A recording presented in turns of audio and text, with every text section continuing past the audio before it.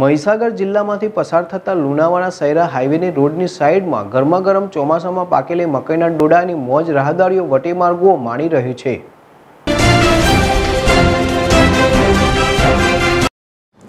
ગુજરાતમાં કોરોનાનો હાહાકાર મચાવી રહ્યો છે. તેમાં પણ રાજકોટની સ્થિતિ ખરાબ થતી જાય છે. ત્યારે ચોટીલા ચેમ્બર ઓફ કોમર્સની મિટિંગમાં સર્વાનુમતે શહેરની દુકાનો બપોરે બે વાગ્યા પછી સ્વેચ્છાએ બંધ રાખવાનો નિર્ણય કરવામાં આવ્યો સાથોસાથ તાલુકા સરકારી તંત્ર દ્વારા આ નિર્ણયને વધારવામાં આવ્યો.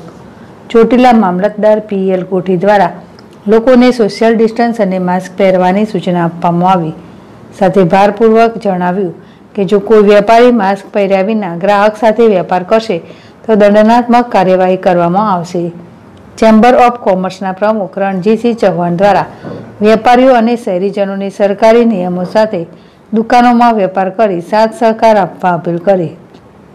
જગદીશસિંહ ઝાલા જેડેશ ચોટીલા.